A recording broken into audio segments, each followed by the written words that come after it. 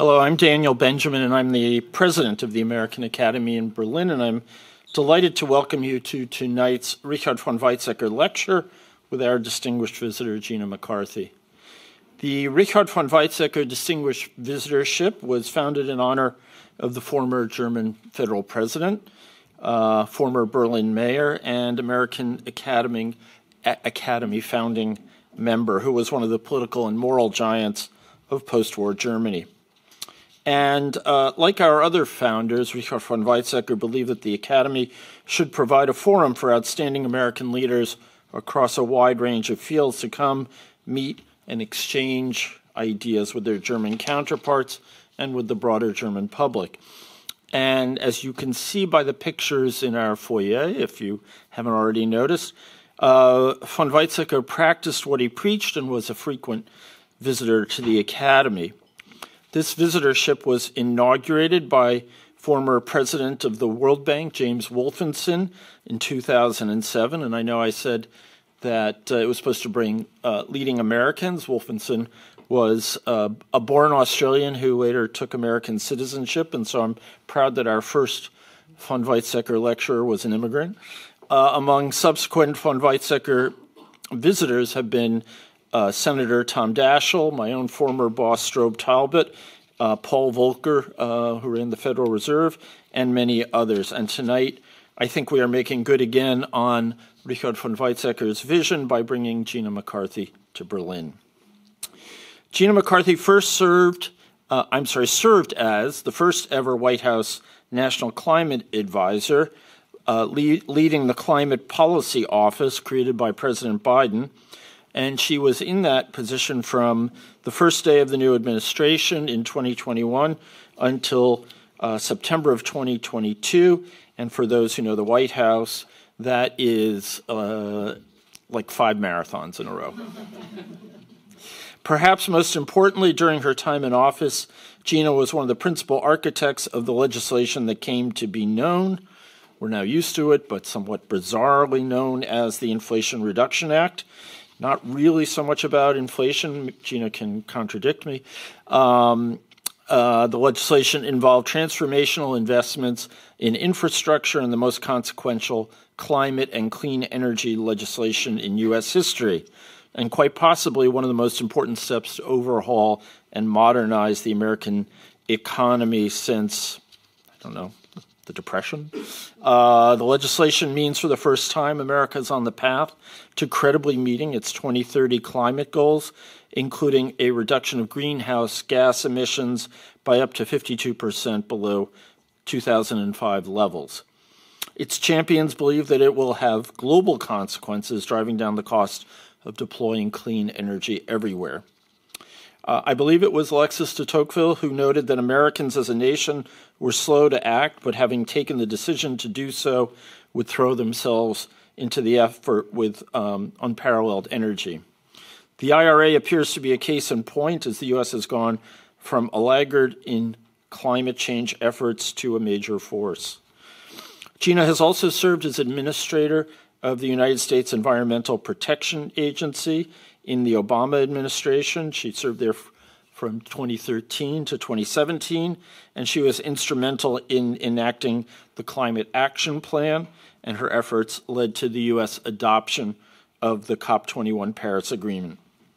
Prior to her appointment as National Climate Advisor, Gina was president and CEO of the Natural Resources Defense Council, one of our greatest uh, environmental uh, NGOs. She has been a fellow at the Harvard Kennedy School of Government and a professor of the practice of public health in the Department of Environmental Health at the Harvard T.H. Chan School of Public Health. Um, I, I, think that uh, those of you who think we have an unholy uh, concentration of public health power here right now with the presence of uh, Harvey Fineberg and Mary Wilson. I'm sorry, we didn't plan on it this way, but so it goes. Anyway, she was she served as the director of the school's newly newly created Center for Climate Health and the Global Environment. Gina served as the commissioner of the Connecticut Department of Environmental Protection, for which I, as a native of Connecticut, am grateful. She also held positions in the administrations of five Massachusetts governors. Along the way, she and her husband, Kenneth McCarey, who I'm glad to say is here tonight, um, somehow found time to raise three children and now have three grandchildren. And if you're thinking that sounds great, their ages one, two, and three.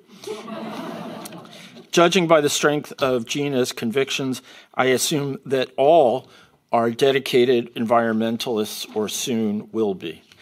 Um, let me just give you a quick roadmap to this evening.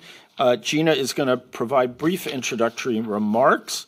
After that, she and I will um, uh, have a discussion, and um, we see an awful lot of climate talent in the room, so um, I will turn it over to you just as quickly as possible. Um, for those of you who are joining by Zoom, please submit your questions via the Q&A function in the Zoom uh, lecture. Uh, don't raise your hand. You will be doing it in a lonely forest. Um, so uh, we will do our best to get to all of your questions. Gina, thank you so much for joining us.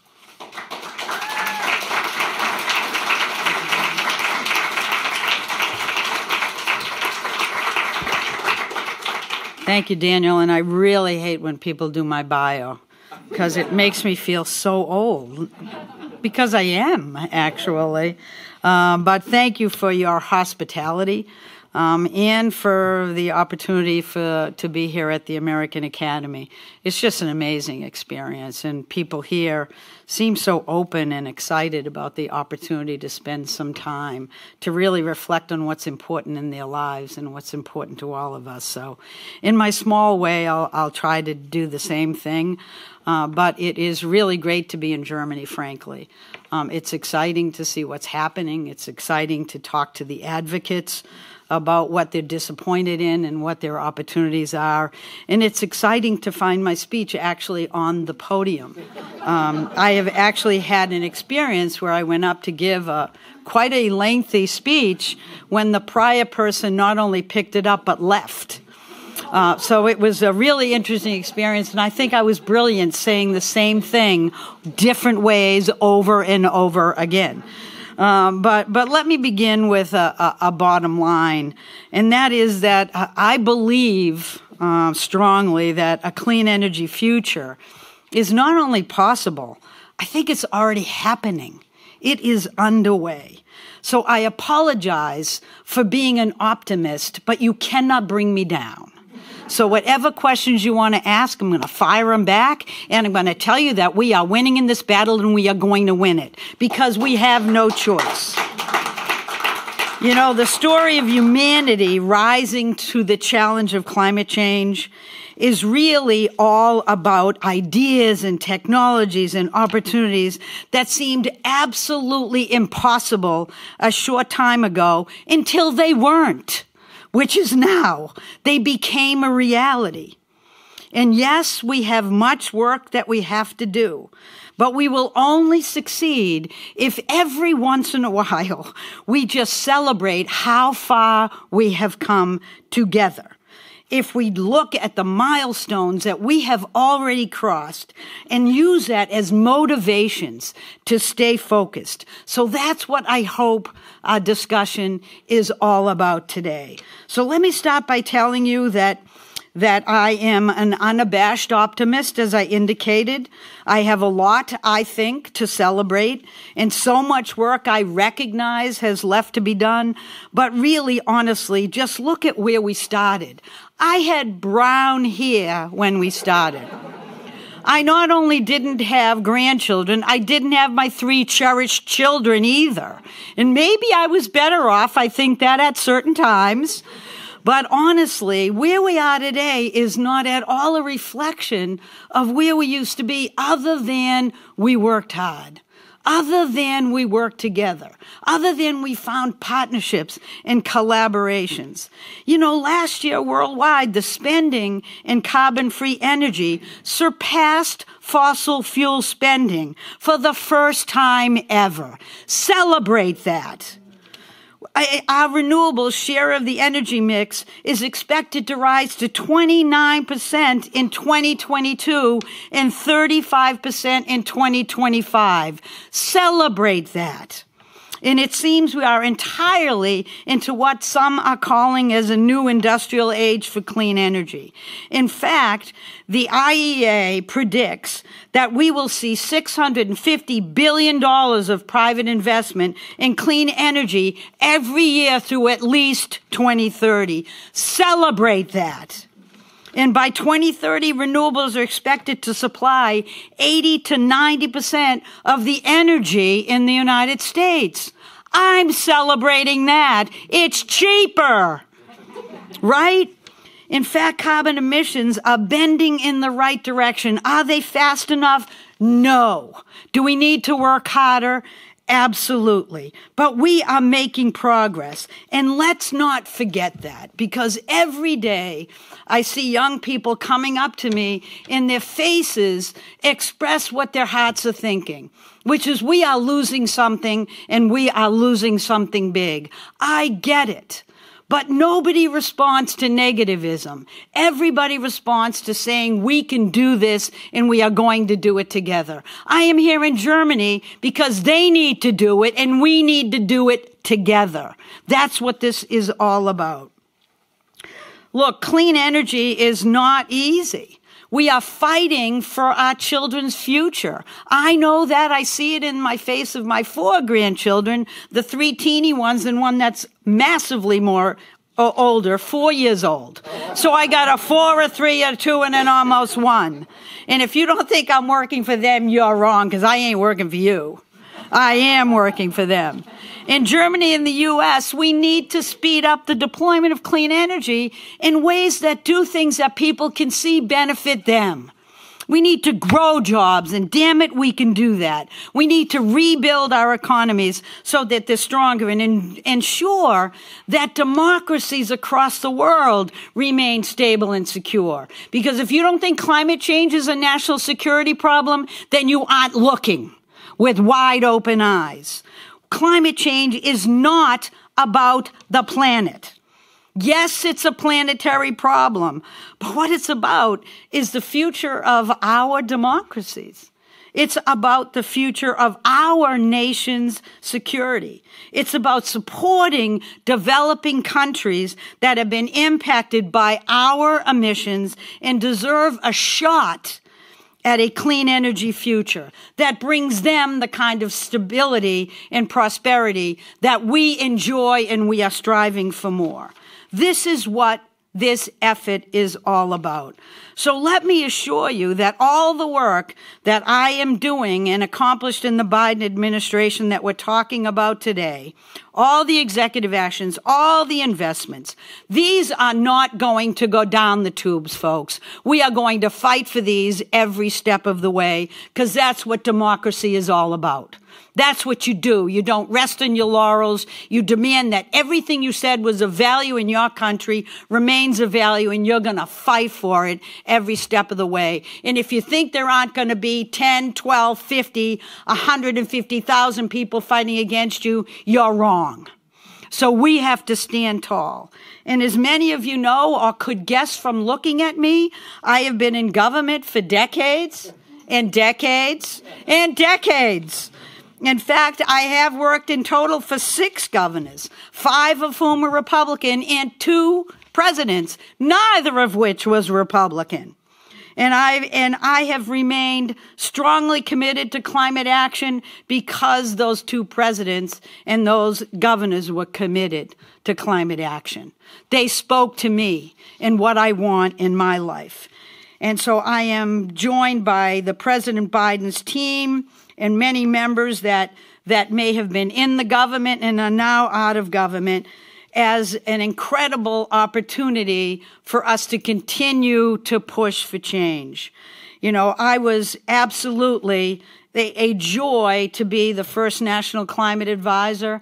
And that wasn't for me. It was because President Biden was absolutely committed to climate action. Let me say that again absolutely committed. He knew that climate change wasn't going to drag down his administration if he talked about it or delay his efforts to start a post COVID economic recovery. Just the opposite.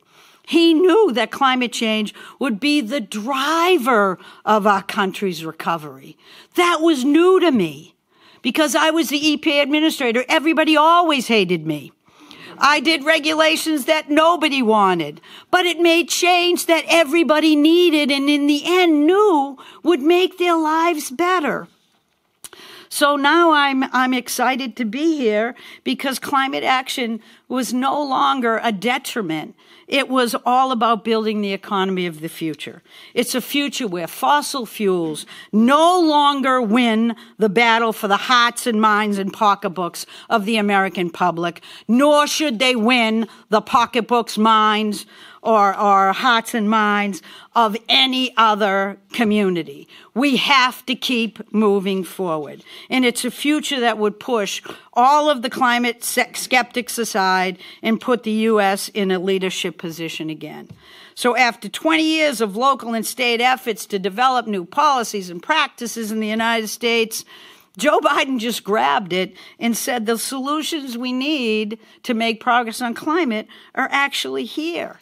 They're here for us to grab. So grab them. And he made climate his strongest commitment in his campaign, which is why I ran to join that commitment. So President Biden came into office and he knew he was going to invest in innovation again. He knew he had to jumpstart domestic manufacturing. He knew he had to rebuild the communities across the United States that had been left behind. We know who they are, the black and brown communities that never had a shot at a good future. And he developed an opportunity to turn that around. And in many ways, my little uh, climate office was about finding that path forward, that sweet spot where we could take action on climate, but we could do it in a way that grew jobs, in a way that improved the health and lives and well-being of the communities that we were brought into office to serve. That's what this is all about. And we pushed hard. And we know we needed to do more in every sector of the economy. But frankly, without moving the legislation forward, we would not have been able to succeed not where we are today. And that success was about moving the bipartisan infrastructure law, moving forward the Inflation Reduction Act, to win the passage of these and then the CHIPS and Science Act. So we were delivering investments for people that would advance their well-being, their lives, give them a strategy to know that we could jumpstart our economy and move forward together. Collectively, this gave us an ability to say that America was finally back on track. We existed again as the United States of America. Democracy was still alive and well with a White House that was working to lift the very people that brought President Biden into office to move us forward. We were open for business again. So, folks, climate change isn't just about climate change, nor is it about immediate benefits. It is about saving our democracies. It is about national security. It is the foundation that we can use to make progress in all of these areas so that in every country, businesses across our, across our nations can find ways to actually want to grab a piece of this pie. That's what they want to do in the United States, in they're scrambling. In fact, since passage of the IRA last August, clean energy projects have, have resulted in 142,000 plus jobs across 41 states. That matters to people. That matters to our communities and our families. Blue and red states alike are being invested in where the majority of the funding is going to the red states. So tell me that this has no lasting consequence because it does. So it's exciting. It represents more than $242 billion in clean energy investments already. And that's just since the law was passed late last year. So we are on track. We know we have to do it. We have to do it to celebrate together as partners and allies. I am here because Germany is working hard and I'd like to work hard together. I'm here because the EU matters. We are allies with the European Union. And I want to make sure that every step of the way we are working together. Thank you very much. Well, thank you for that. That was great.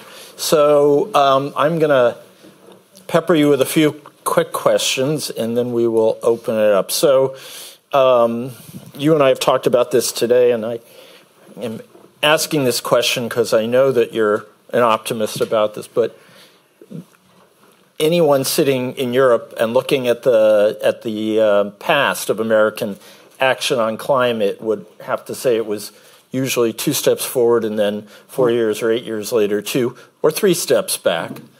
Why is this different? Uh, I, I, I hit this a little bit, but let me let me give you a clear example. And and first of all, that it's really hard to reject investment in your communities. If you're an elected official, you don't give up money that's given to your communities. If you do, you don't have a long history in politics.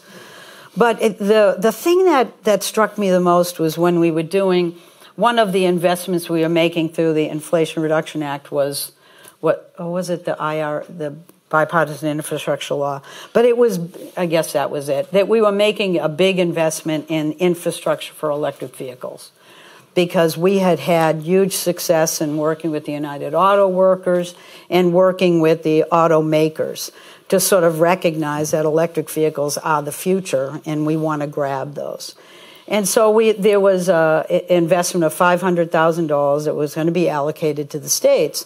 And the question was, would everybody reject that? Because in COVID, some of the money that was given out for COVID, actually the governors just sat on it because they didn't want to admit that there was a COVID problem. That's a problem in and of itself. But, but the, what happened was they all had to submit plans for how they would develop their EV infrastructure. And it turned out that none of them wanted to be the state that everybody drove around. around, not through, around. We got 50 very sophisticated, well thought out plans for how to do the EV uh, uh, charging stations. I never expected that. I, I never expected it because I expected that they would reject that idea in some states. They didn't. And that's because it mattered to them. That's because we kept it low profile. We didn't tout it. We didn't make, oh, look, everybody agrees. We just simply did it as a matter of course. And so it gave me a hint that maybe we had an opportunity here to not make this a political issue, but instead to make an issue about how the United States grows its economy. And that's how President Biden had, has tackled it, how's he, how he has framed it, and we have done nothing to point fingers at anybody, but instead to just make sure that everybody feels that the, the resources that we're providing will go to the, the, the places most where those resources are most needed. If you do that and just shut up and don't gloat, you can do okay. That doesn't often happen with politicians. that, that, that, that, that is a true statement. um, so you talked a little bit about the uh, U.S. German and more broadly Euro- U.S. European relationship mm. on climate. Um, put your finger in the wind and tell us where it's all going in the future, and also, you know, the the question here and in many rooms uh, across Germany will be uh, if you're really working together, why are you trying to suck all the R and D money out of uh, uh, out of Europe? Did you make that up? You made that question up. Um, I did it all by myself. yeah. I don't think uh, uh, it, it, it's amazing, though. Uh, it, we're not sucking all of the R and D money. Let me just put it that way. We're sucking all the R and D. Yeah. yeah. R and D is good. Uh, it re- that stands for research and development, which is always a good thing. Um, but I, what I'm what I'm hearing most about, and let let's just hit the nail on the head, is basically that the Inflation Reduction Act is protectionism, and I, and I get that. I understand why that that is a criticism. So let's just talk that through. you know, uh, the the the president was very clear that there are things that we know we have to do together, and and he we also he I think he's also made it clear in the way in which he's framed the in the uh, the IRA is that th- there is only one section that actually requires domestic content. One out of all the provisions in this 300 and some odd pages, and it has to do with electric vehicles. And apparently that has been perceived as a bit of a poke in the eye. And I think we need to address that issue. I mean, and it, and it is being addressed as we speak. You know, we've had, uh, the president has had conversations with the EU, conversations with with Germany to make sure that, that we can come to a solution that allows us to work together. There is no bigger ally but for the United States than the EU on this or any issue. And there's no bigger opportunity, I think, than the Inflation Reduction Act and making sure that it is benefiting all of us. Um, and so that will be worked through. But it is a big deal. But honestly, we lost millions of jobs during the pandemic. Millions of jobs. We have an entire Ohio River Valley that lost manufacturing. We had to work hard with the labor community, the UAW in particular, because it was the first sector in, in which we were able to really move forward. And we worked with them, and they were worried that they were going to lose jobs because there were less parts with electric vehicles than there are with fossil fuel vehicles. I know. Well, what if you double your manufacturing? Doesn't that take care of it? We were not expanding our manufacturing base at all. And so the trick was we, we worked with them and said, listen, we are going to drive investment to have more manufacturing of electric vehicles so you won't have to worry about the future because the future is electric vehicles. And they agreed and they went with it and we moved it forward. We have to have those same conversations because President Biden was very clear, and I think what folks are worried about here is the idea that they will lose significant jobs. Now, there is no question that that's a big threat that people ought to be concerned about. We had the same concern. We ended up making sure that we were retraining folks that were going out of the coal sector to give them an opportunity to do other work that was absolutely essential. But the whole point is to have people working to grow the economy and frankly to keep uh, re-educating ourselves and and our workers on how they can be part of the economy of the future, not the past. Wouldn't that was be- a long answer, and I'm sorry. I, I actually answered many questions that were not asked of me. Well, you've preempted me. Yeah. Um, well, yours was harder than the one would, I answered. Wouldn't you agree that it's not just two years of jobs from the pandemic that were lost, but 30 years of jobs Awful. from yeah. globalization? Yeah. yeah. And, um, you know, I think that uh, most of our, many of our German friends certainly recognize it, but, you know, there's a, as one German friend of mine put it, there's a qualitative difference between our experiences, which is Germany was a winner of globalization mm. and the U.S. to we a large extent was yeah. a loser. Yeah.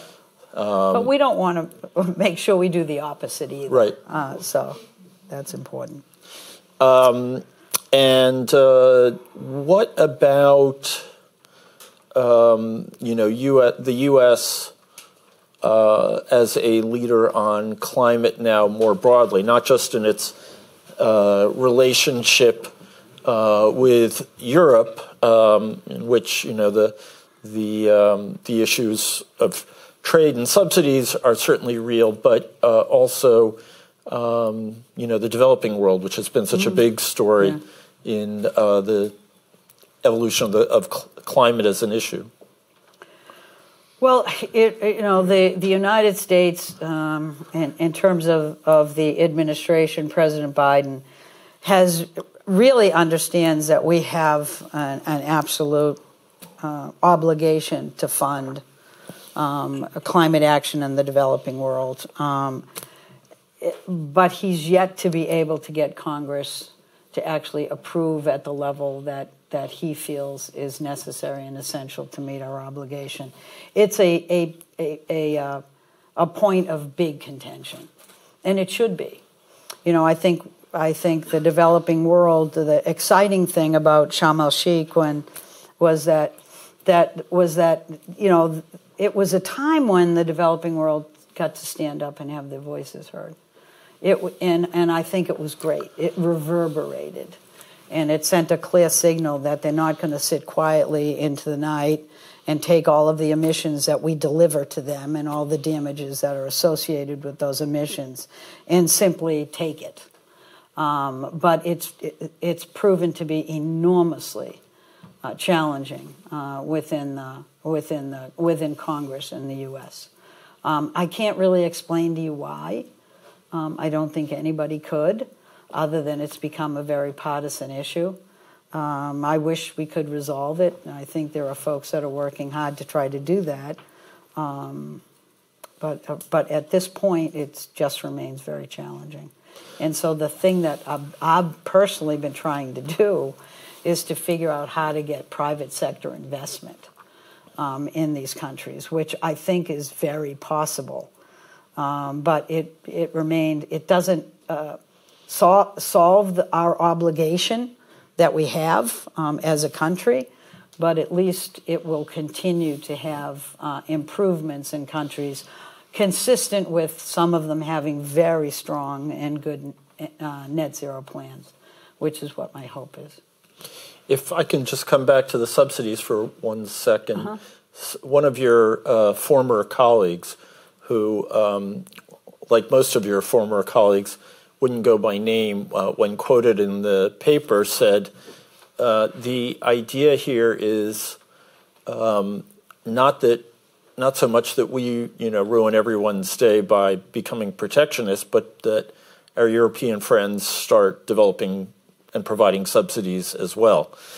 Um, We're always so gracious. Is well, there a question? That was the question. Would you, would you agree with that? Boy, it sounds like kids playing on a playground. I'm not into that. you know, I, I think that, that we are partners with the EU and we both have to step up. That's as simple. But I cannot poke my finger in the eye of the EU for failing to do something that I can't get done in the United that I that we can't get done in the United States. No, no, I'm talking about the subsidies again, not oh. The, oh, not oh, not right. uh, not not subsidies to the developing world. I meant the uh, the IRA subsidies. In other words, is it the idea? Would you agree that a lot in the administration are hoping that this issue goes away with Europe? Actually, increasing its investments in in uh, in European clean energy sorry about. That's okay. I'm used to it. missing this. I wasn't it, clear. It's been a really long plane ride in, in day. Um, no, and you weren't clear. I just want to make. Yeah, no, I wasn't. um, you, you know, uh, this this isn't a race or about who's doing what to whom. You know, we move forward with very strong um, opportunity for electric vehicles to be produced in in uh, in in our country, and that's a good thing because that's what we need. Our biggest source of pollution is the transportation sector by far, and so the so we were following where the greenhouse gases are being emitted and how to take care of it. Now that doesn't mean that we won't be working with the EU to ensure that we're not putting any more barriers in the way of their success as well. But I don't see how we, we could. I mean, I think there's a necessity for the EU to to really consider similar action would be good. But uh, I do think there's going to be a lot of, of conversations between us and the EU to make sure that we continue to have a strong partnership. So I had one more question, then we'll open it up, and I reserve the right to have another one after that later on. Um, when I look at how the U.S. Um, the U.S. trajectory on climate, um, I'm very excited about what uh, IRA has uh, has done and will do. Um, but I'm almost as worried uh, about the dismantling of our regulatory agencies, especially by the courts, um, which seem to be hell bent on taking away all the authorities that we thought they had uh, for the last 75, 80 years. And uh, I was curious if you would hazard a, an evaluation of that. I mean, your own former agency has has suffered in this regard.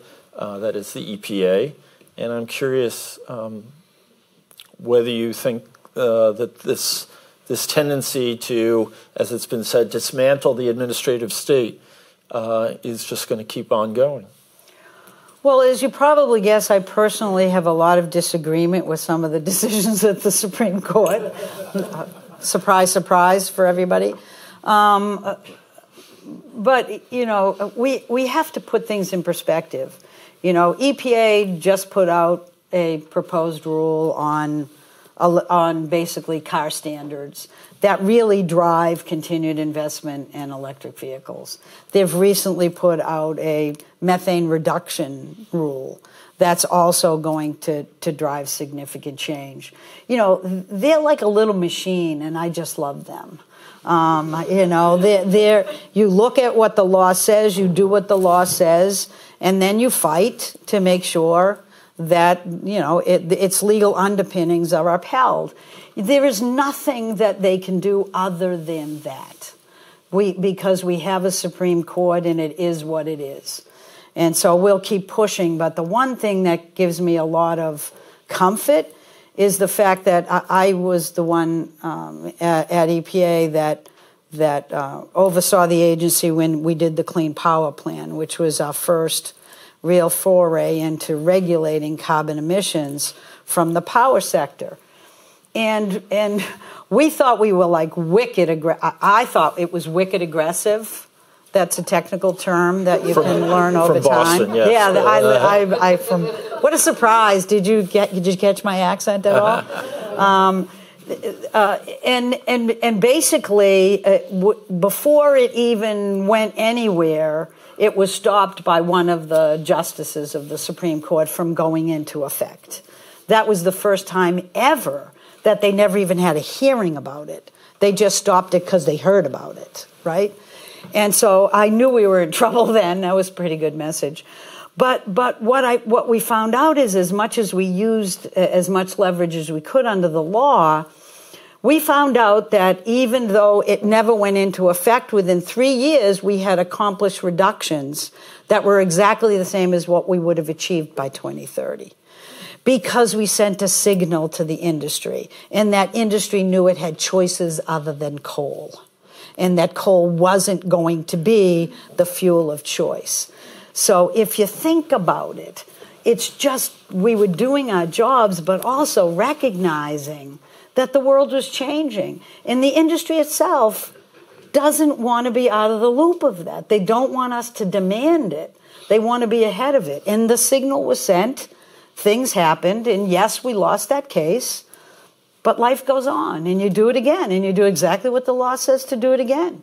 And you hope that over time the Supreme Court changes, but in the meantime, you do your job.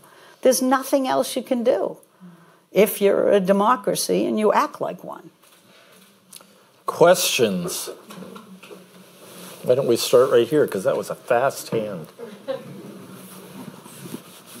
Gina, thank you very much for your talk today. And um, as I um, introduced myself to you earlier, my name is Paul Hawkins, and I write for Foreign Policy Magazine. You say that you're optimistic about renewable energy, and from what I understand, though, you do include nuclear energy, which you didn't mention tonight, among um, among renewable energies yep. as clean energy. And it surprises me because, I mean, study after study, the facts and figures show that nuclear energy is way too expensive. I mean, per kilowatt, it's four times more expensive than wind or solar. Um, it takes way too long to roll out, five times as long as wind and solar parks. I mean, perhaps, perhaps that's the reason that in the United States, over the last 30 years, one nuclear plant has been built, and right now there are none under construction. It's much the same uh, story here in Europe, in, in Finland, one since 2000. It's too dangerous, it's too toxic. This is the reason that Germans, after 50 years of mm-hmm. discussion, decided to shut down their nuclear reactors. And it's indeed, you know, half of the European Union countries don't have or don't want nuclear energy. Isn't Paul, every dollar spent on nuclear energy a waste? Isn't this a waste of time and attention and, and energy and work and planning clarity? I, I, I'm actually not sure that this is money that's being spent to develop nuclear. This is an attempt by the administration to include all of the opportunities ahead. There is a lot of discussion in the US, not in terms of traditional nuclear, but in terms of these small modular reactors. You and I could agree or disagree on whether or not they're ever going to happen, but it's not like we're investing in them. We're providing opportunities for those that do to test it out and see whether or not they're viable. That's, that's what this is. So it is not, I'm going to build three and see what happens. And I'm not convinced that small modular reactors are going to be cost effective. I'm not convinced that anyone's going to want one. But we'll see. But if they do, there is an opportunity to advance this through a credit. That's what that says. So I wouldn't overreact in terms of, of our, we're investing in nuclear. We're not leaving it to the side. But there is, so there is an opportunity, and you could argue that opportunity is, is good or bad. Camilla uh, promised to ask an incredibly complicated question. So, so now Hi. Hi. So good to have you, and thank you for being there and for driving the agenda for, as you said, decades and decades and decades. We really need that. Thank you. Much appreciated. Now, um, to my questions. Um, one is if we look at Germany right now, on the ground, we see how the nitty gritty challenges us implementing certain things. And that includes, for example, capacities, time, and knowledge on the ground at the local level. So I wonder what can we learn from America in this respect? How successful are you in this context? Second, you talked a lot about cooperation both with the EU. I like that. I'm transatlantic at heart, or also um, uh, with developing countries. But I didn't quite get how this cooperation, either with the EU or with developing countries, what are the features of this cooperation? How can we actually fill it with content and passion? Yeah. Would be happy to hear more about that. Thank you. I was hoping you didn't go to three because I'm too old to remember three things. Um, what was your first question? you didn't even tell me about that fourth grandchild before. what was the first question? Uh, yeah, yeah, I got it. I got it. I got it. Uh, I was just kidding. No, I really wasn't. But the, on the on the local, you know, in the U.S. Um, I worked at the state level for over 20 years. There was a good reason for it. Nothing was happening at the federal government. Yeah, all of the action was local, and, and still a lot of it is. And so, uh, so the local government doesn't have to wait for the federal government. It has its own authorities and moves forward, and it still will. You will still see California pushing for more you'll still see Massachusetts actually pushing to revise the regional greenhouse gas initiative and get it to do other things that they think will continue to push the federal level forward. So I have, I have great faith that people at the local level are pains in the butts and will keep moving and pushing as far and as fast as they can. And I love it. I, I think it's great. So a lot is going local. A lot of the money in the in, in the uh, Inflation Reduction Act is money that goes to block grants for the states, in particular environmental justice communities. So they are, for once, going to have an opportunity for resources to invest in what they want. And so there is tremendous opportunities to move forward at the local level in a way that's either promoting what's happening in the Inflation Reduction Act or doing something different.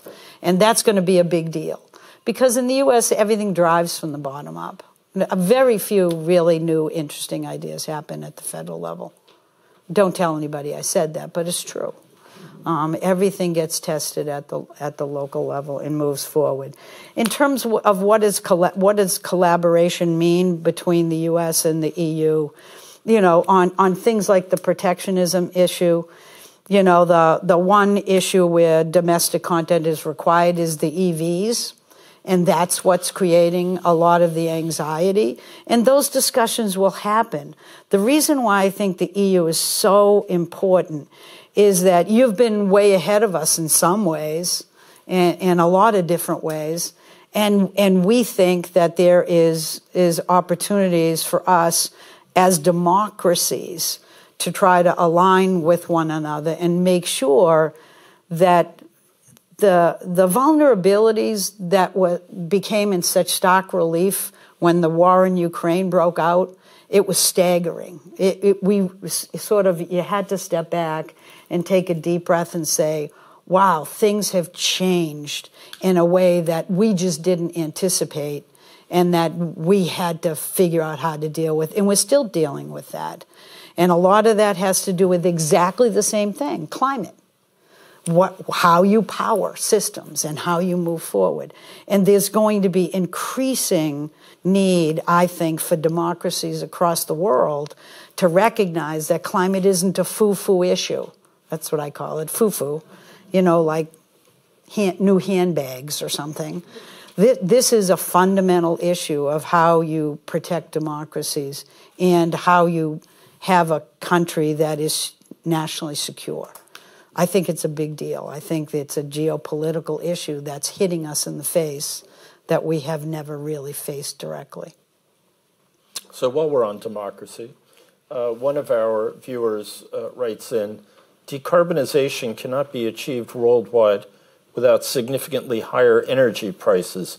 How can we reach the higher prices without endangering democracy and providing uh, involuntary support to populist parties? Uh, I, that's that's a, a, a two-step issue. The first of which I reject. I just don't think that clean energy is more expensive, and therefore I don't think we're arming populist parties. It's a, it, and I, I, I'm not trying to be trite about that, but data shows that that's simply not the case. And so the, I think the thing, we, one of the reasons why the Inflation Reduction Act is about incentives, not mandates, is that I, people can get very comfortable about their own choices in their own homes and in their own cities, which is fine. Um, but we're trying to entice new thinking about that. And I think that's important because I don't know about how the EU feels about this, but people get don't like to be told but they don't mind being enticed. and and the way, no matter how you look at it, clean energy is going to be the the, the most cost effective, and frankly, the most secure choice that people can make. Okay, we had a question right here.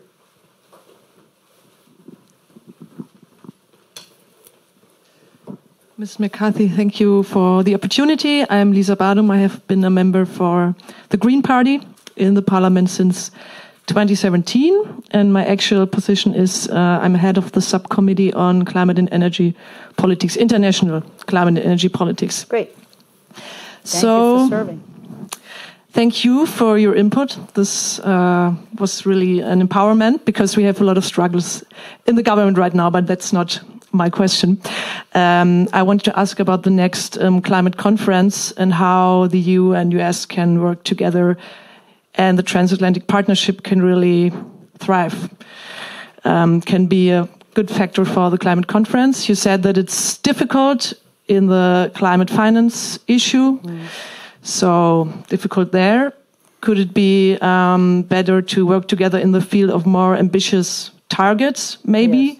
where yeah. the US will, yeah. yeah have somebody um, something in in this field um, to work together with and the third thing I think is important is the end of fossil financing, the end of uh, financing new extraction of oil and gas. Yes. I mean, we know we have a problem in Europe at the moment with the energy crisis, but also in the US, projects are going on and on, and also in combination with uh, CCS. Yeah. So, do you think um, something in this direction could? Yeah come to a positive end? Uh, hard questions. Um, on your first, um, I, I think I should just admit that I'm not as close to what the U.S. is planning um, than I would have been had I remained in the administration.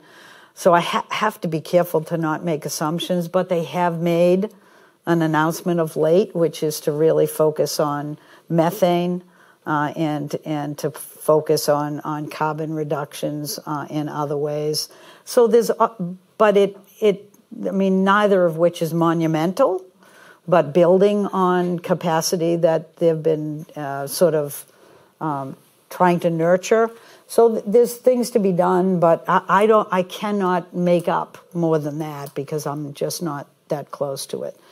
Um, in terms of, of, of what, what, the, what the Germany is doing and what we're doing um, on, on uh, other efforts to try to uh, address climate, you know, uh, uh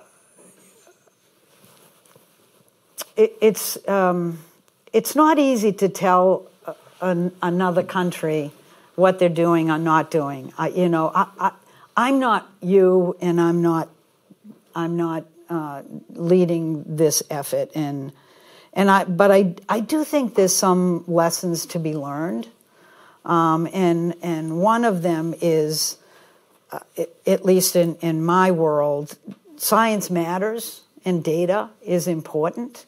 You know, people standing up and pontificating about what's worked and what hasn't without having a justification for it um, need to be challenged. You know, you need to get at, at real information. You need to build coalitions. And, and the, you know, we were talking about uh, this a little bit at dinner, is President Biden, and I know he's, you know, not a kid, but man, he had a coalition of young people that got him into office. And it's because he made sense. it's because he made a commitment. And if Joe Biden is nothing else, it's an honest human being. And he and he's been driving towards that commitment all along. And so part of the challenge that I think we all have is to build really diverse coalitions, to get the labor community involved, to get young people involved, and to challenge when the data, when it's just a shot out of the dark statement rather than something that's meaningful and, and translated in, in real data. Um, I'm kind of a pain in the neck about that. I, I, I just think, I think change happens when people get real about things and not when they pontificate. So I would, I would caution that both of those things are really, really important. Coalitions, mostly, which I think you guys have been working hard on. Over here. Yes, you. Uh, thank you very much for the very inspiring talk. My name is Simon Müller. I'm with Agora Energiewende. It's a German energy and climate think tank. Okay. And I have a question regarding more of the engineering of the IRA. So you spoke a lot about how mm -hmm. to change the frame and also um, you know, having incentives rather than regulation. So maybe looking at the experience that you made when making the Clean Power Plan and now working on the IRA and building those coalitions, are there some practical things that you learned where you say, okay, we did this differently. How did you get bipartisan agreement? Because in Germany currently, we're increasingly seeing that the political divides on climate action are increasing.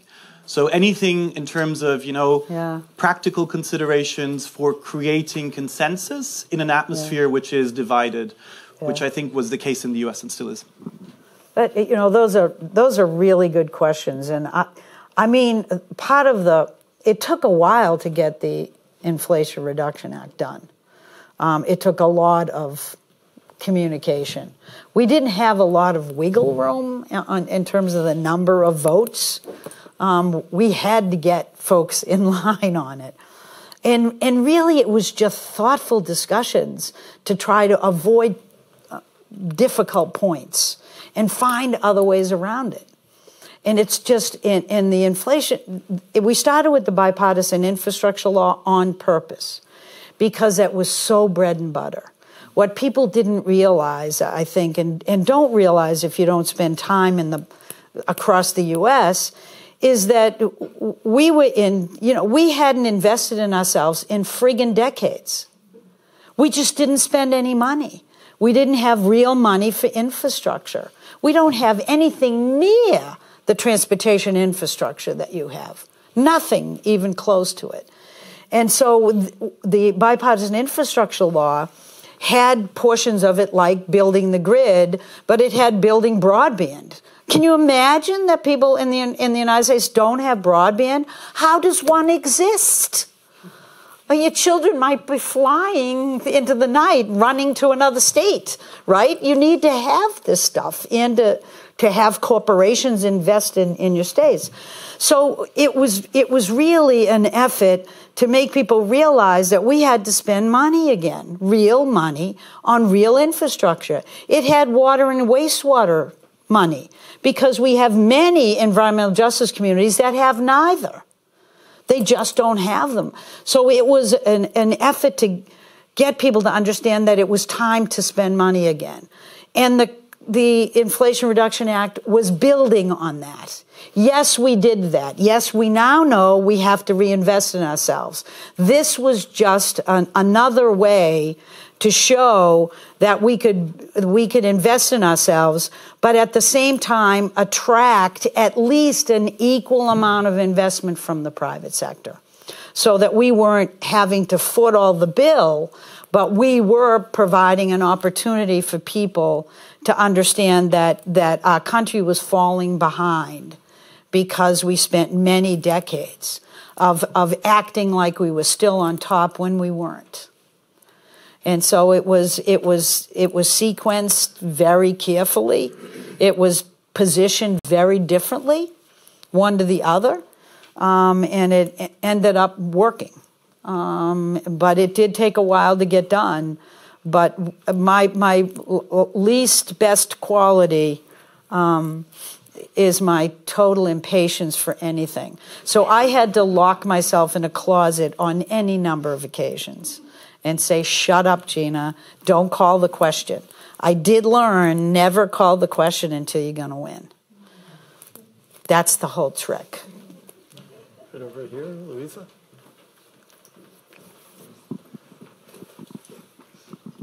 Uh, hello, thank you so much for um, for speaking here tonight. I'm Luisa Neubauer. I'm a climate activist with the school strike um, movement. Um, maybe just one remark on, um, on, on on the transatlantic effect of the IRA that we noticed. Uh, just I think in the same week that it became public in the U.S. that this was happening, we spoke to a um, quite important minister, and uh, we we proposed to do something similar because we thought you know, would be useful to have something. Yeah. And um, well, that minister denied um, the necessity because um, that minister felt, you know, the vibe was okay um, in, in, in the country and we wouldn't need that. And um, it was very, very good and for us a bit satisfying, to be honest, to see that over the last months that clearly changed. And I think it's wonderful, to be honest, to see that, you know, suddenly we get some real competition on better climate ideas because mm. for a long time this was about a competition about, you know, fooling the climate and greenwashing yourself out of real action. So I think flipping that around is something that we all really needed. Um, but yeah, to, to my question, because you talked about lessons learned, and I think yeah. one thing that especially, of course, I mean, everyone, but I think in particular younger generations are really worried about is that um, the question of time um, I mean, you know, we see you, you pointed that out. We see dynamics going into into good directions in many um, places. We see good investments. We see the renewables and those things coming along, but there's no match right now with the short amount of time that we have left. And I mean, we know that climate action that is, you know, too slow. You know, it, it's it's it's a good stuff, but it's not necessarily climate action because it, everything depends on time. And yeah, yeah. Um, is there anything that you that you've learned or that you can talk about in terms of how to speed up? You know, part of what we tr- tried to figure out was to have have the right level of investment because you know frankly when when you're trying to make changes in, like in in how homes are heated or how uh, automobiles run that kind of stuff you know, you have to have a sense that you cannot get to 100%. You have to get to the right level so that so that folks would take that on naturally and markets would continue to develop. And that's what we tried to do was to make sure that we didn't cover everything without having significant resources in every one of those buckets. Because you get, do get to a tipping point where everybody wants it if 20% of the people have it. And it takes on a, a life of its own. And also, it takes it, it the costs usually get significantly lower over time. So we tried to do some gauging of whether or not we were at the right level and in the right markets. Um, but that that's really the the best that we could think of to do. And we will see whether we hit it or whether there's more investment that needs to be made. But I think in the in in terms of the the electricity you you know in energy world we're where we need to be the question, the more difficult one is the homes and, and the, the community level spending is how do we move that along quickly? I, I'm not convinced that there's a terrific strategy for that. Um, but I do think the energy world in the United States is going to change significantly um, and pretty quickly because um, they're primed for it. You asked me a second question. Okay, good. Simony. Yeah, maybe this is building a bit on what Luisa was asking as well. Um, I'm over here.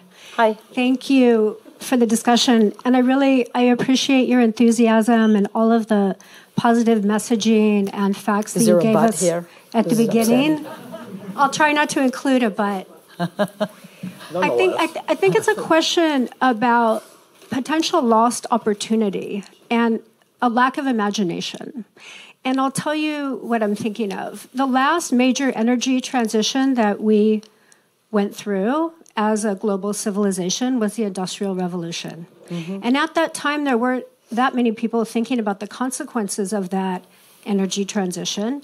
And yet now we live with the consequences of it. Mm-hmm. Now we have this opportunity to take on a new global energy transformation towards renewables. And it's really exciting to hear about all of the positive things that are happening in that space.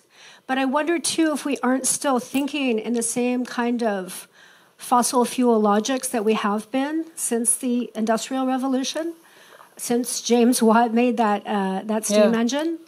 And whether we don't have an opportunity now to really make major transformational civilizational changes through this moment in history that we have this opportunity to to live through and to be active in in, in shaping yeah. and changing.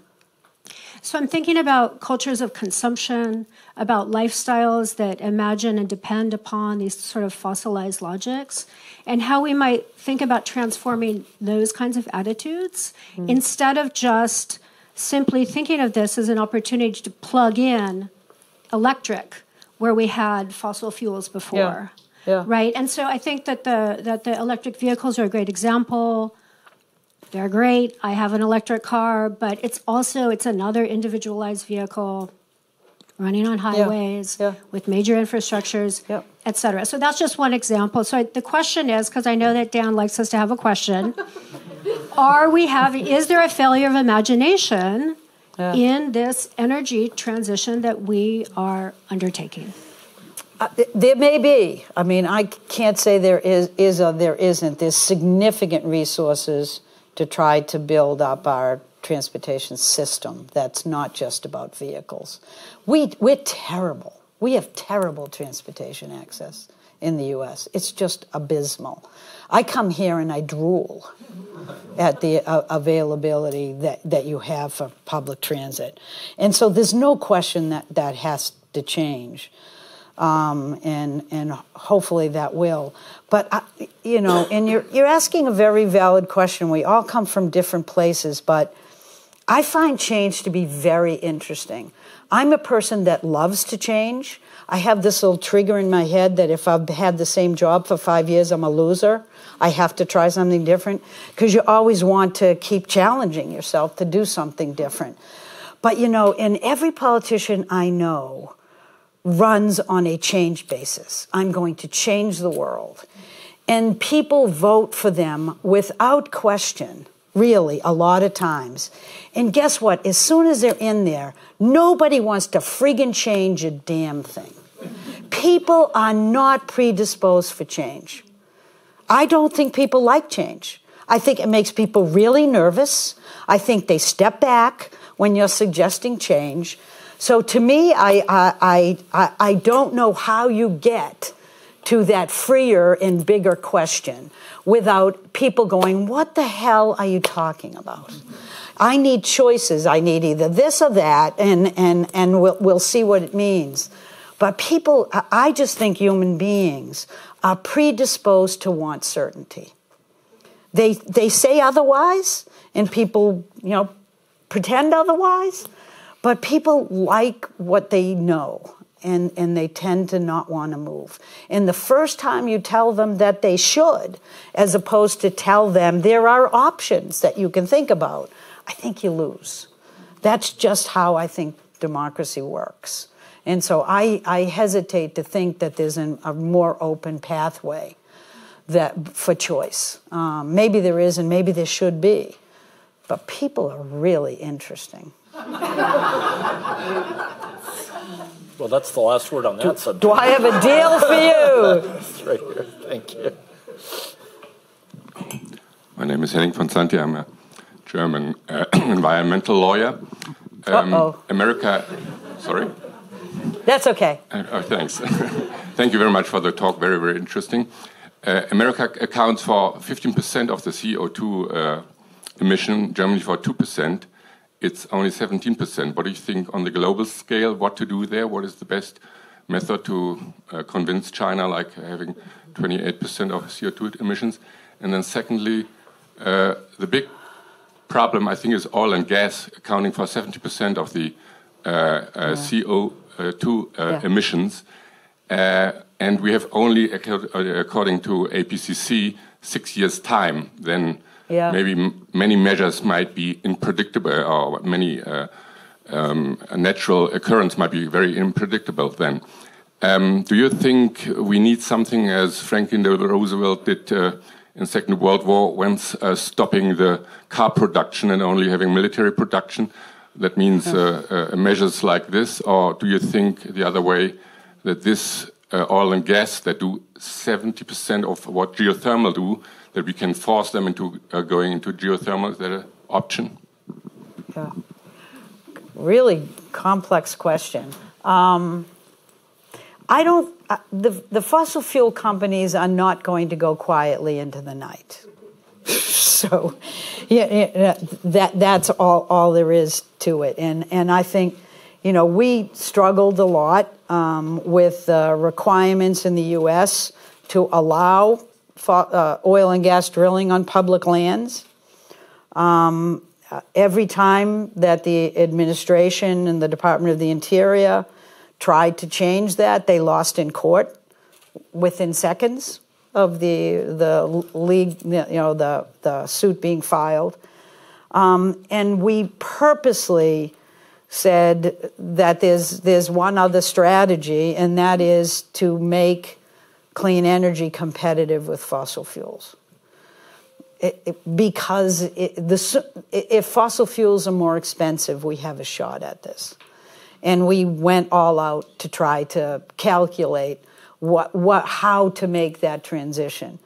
I, I think it's, it's enormously challenging now with fossil fuels because I think they know that their, their time is limited in the current system, not fast enough we're not making that transition fast enough. But I also, you know, I also see them basically transferring a lot of oil into petrochemicals. And, and that's the same thing.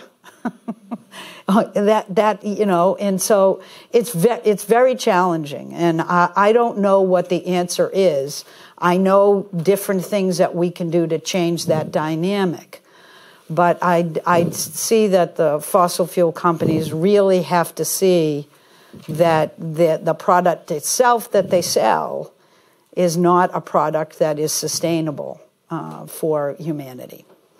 And, and if you can figure that out by suing them, fine.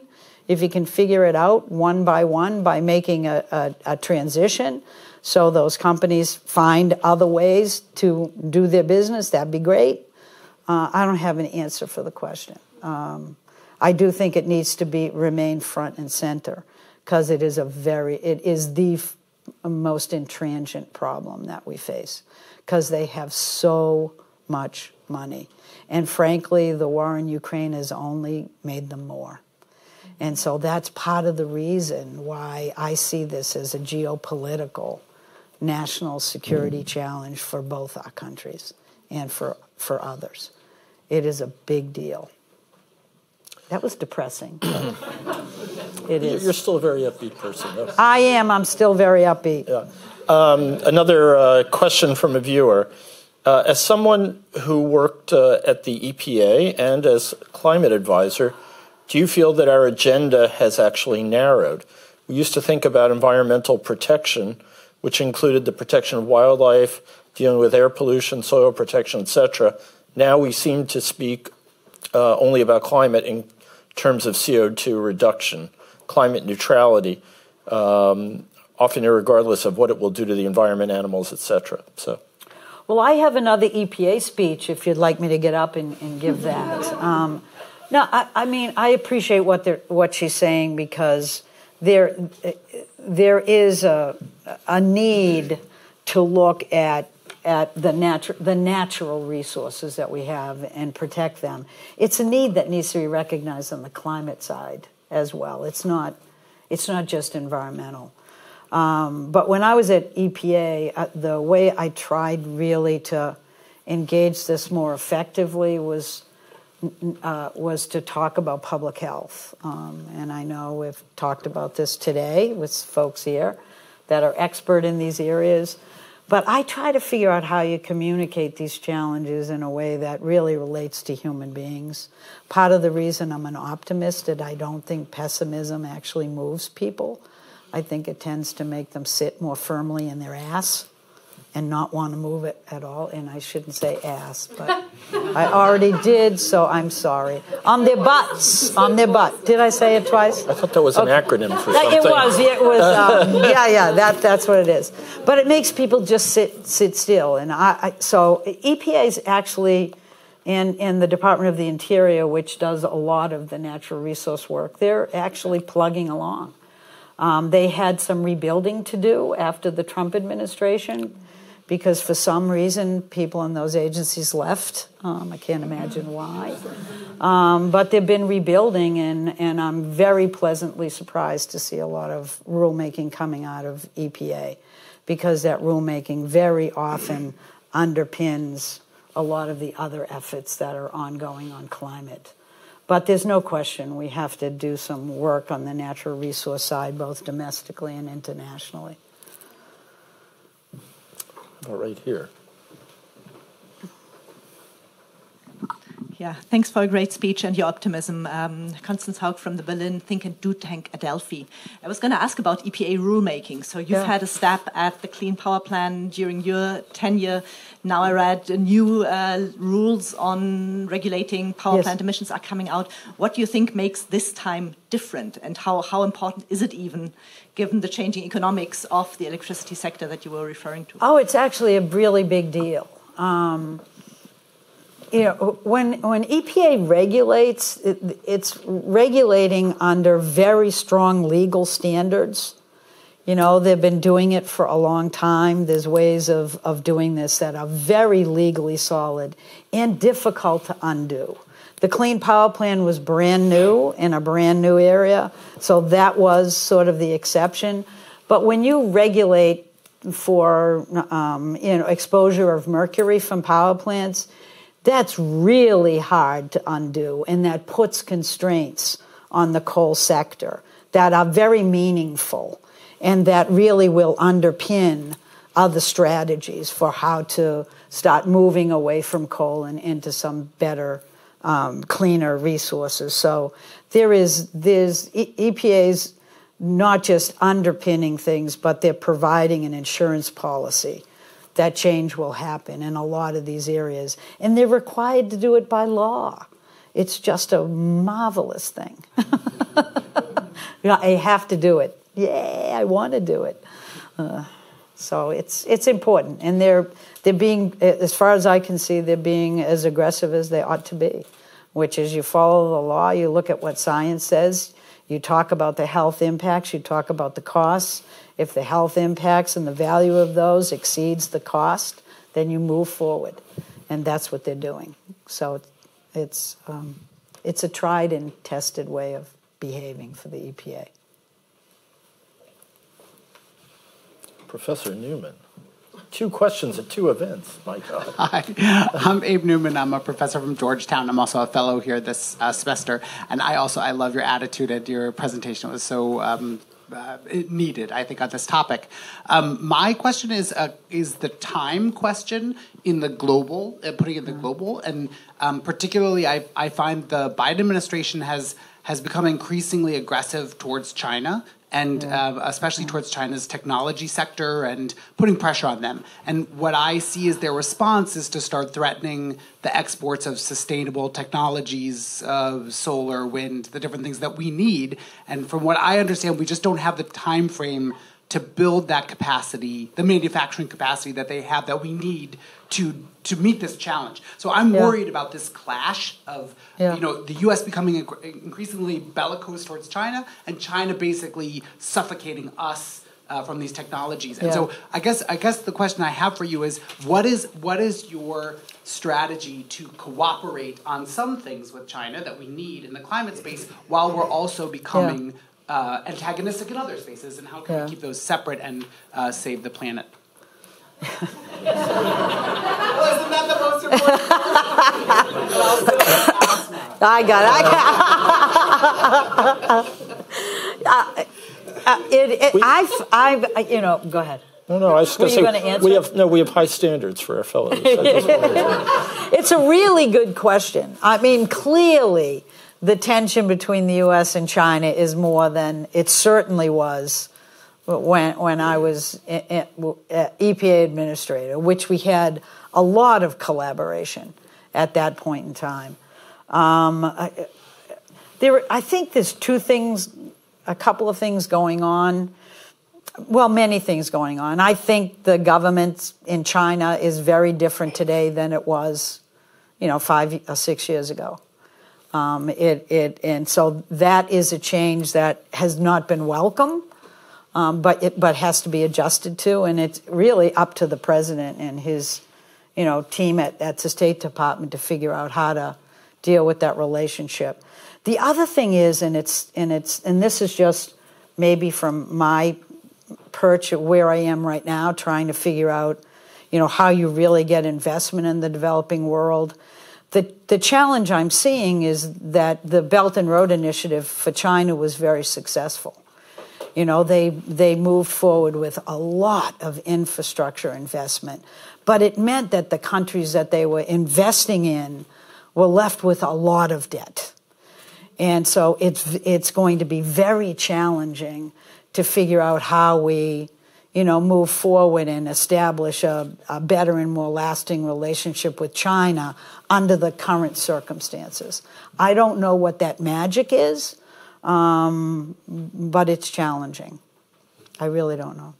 I have another question for you.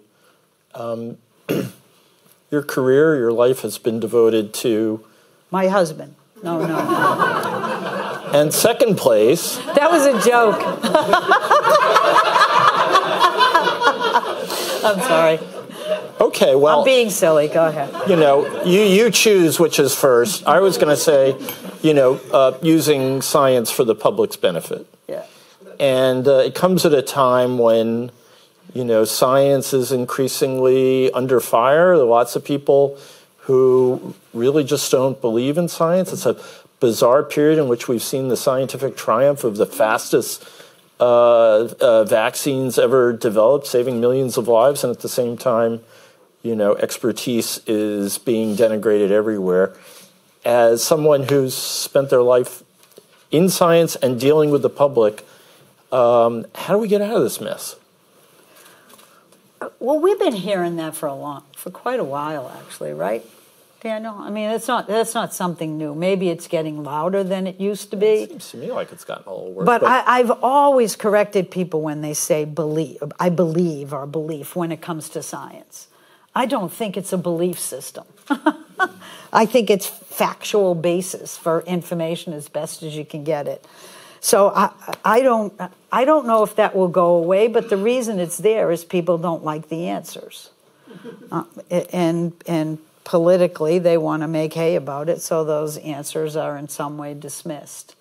And so we've had we've had that going. If you're at EPA, you know that that's been a problem for as long as you've been at EPA, right? Because they don't want you to take action consistent with the law because it's they see that it's not to their personal advantage. So they they call it, um, they make it as make believe, right? Um, but you know that's part of living in a democracy is you have science and you prove it and you stand by it and you try to explain to people what you did how you did it why it's meaningful why it's the best that science can deliver and you go with the you deal with the results um, you, I think the most important thing is that we don't back off that we don't start getting wishy washy, that we don't say, oh, yeah, but. You know, there's no but about these things. You, you deal with it. And then you move forward, and hopefully you don't live to regret it. Or die young. All, the, the all the way back there in the corner. Thank you. Um, I have a question. Uh, rather than the actual policy, um, the uh, rollback after administrative change might be perhaps the more um, damaging element to um, to uh, environmental policy. And my question is: Do you have a, a silver bullet answer to that? How can you prevent environmental policy becoming partisan partisan issue? Yeah. Um, because at the end of the day, um, it's all our uh, common lifeboat? The the silver bullet that that there is none obviously and I I know you know that but the silver bullet for me would be to make sure that we spend the inflation reduction act money and we have an ability to talk about how meaning what a meaningful impact it had in every community that to me is what government's about that's what I want to see if there's significant delay in the spending of that money over the next couple of years and we don't have enough to tout, that would be hugely damaging to to our ability to sort of um, make sure that the election was a meaningful one. Um, and and you know you got to worry all the time. We live in a democracy; things change, but it's really important, I think. And it was and this. I'm not suggesting that the Inflation Reduction Act or the bipartisan infrastructure law were timed to anybody's benefit. But frankly, I just need people to see that these were meaningful improvements in their lives. Because that's what government's supposed to do. That's what being a public servant is all about. And I've spent my life doing that, and, and that's what's most meaningful to me in terms of how you leave. You leave knowing that you did the best you could, and people are seeing it. Um, it's it's just not it's uh, it's not easy to go into an election if you can't point to progress made, and that's what this is all about. The gentleman with the baseball cap. Yeah, it's been answered. It's been the same, on the same. Oh my God! What do you got on the baseball cap? Is that I'm a shamrock? afraid it may be a New York Yankees cap. No, it's a shamrock, isn't it? Oh, it's a shamrock. I love it. I, I have my Red Sox cap, up, cap upstairs. We take a picture.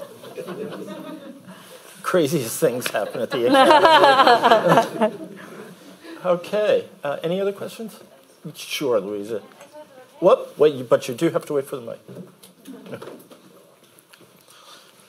So I might stand up. Um, uh, so um, asking for the younger generation here, fear, but you know, um, tonight maybe that's necessary as well.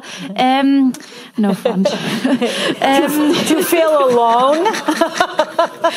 um, so there has been a new um, on the European continent. We've yeah. seen a, a, a, new trend in climate communication, I would say, uh, which is um, about like telling the truth as a political approach. I would say, like the real truth, like the truth, truth, like President Macron going out last week. I think it was declaring a national water emergency, and then saying, and I quote, "We have no re reason to assume that this is going to get any better." Um, that is what he just put out to the public because that's a reality of the, the water scarcity in France. And we have a um, minister in Germany, the minister of economy, who you know went on national TV and said our lifestyle is causing devastation, and we are causing suffering by the way we live and by the way by the way we protect our so-called wealth. Um, and you talked about how people don't want to change, but you know, given that, um, you know, maybe um, how do how do you feel about you know maybe um, telling people that if we don't change almost everything everything will be changed not by design but by yes, disaster right, so right. you know that we, there will be this conversation at some point right about electric cars being great but also about you know necessity for drastic reduction of cars at all because we can't you know yep. have that yep. many of these um, um, you know machines um, and all the infrastructure that was mentioned, or you know how um, you know change is an option, you know, for the industry, but also um, the catastrophes aren't waiting for us to kind of make this option whenever we feel ready for this or when we have a good day. But these options will, you know, th these will fade away if we don't change fast enough. So um, I think it's beautiful to, you know, to take people from where they are and to, you know, to make sure that the lifestyles are addressed. But at some point, I think the realities of the ecological breakdown, they, you know, they, I'm not sure if they always give that us yep. that option. Yep. Yeah. Well, let, let me um, respond to that by clarifying a couple of things. Um, I still believe that people are reluctant to change. And I, I, won't, I mean, that is something that I've experienced. The question is whether they're right or wrong. And the question is not whether you articulate the challenge that you're facing in real terms, because you have to. And, and, and talk about it in a way that's real and that's based on the science as you understand it and the data that you have. That's not, that was never, it, to me, what I intended to project. What I in, intend to project is the fact that there are choices that can be made, but, but expecting people to do that on the basis of demand is probably not going to work. It has to be on an understanding of the problem.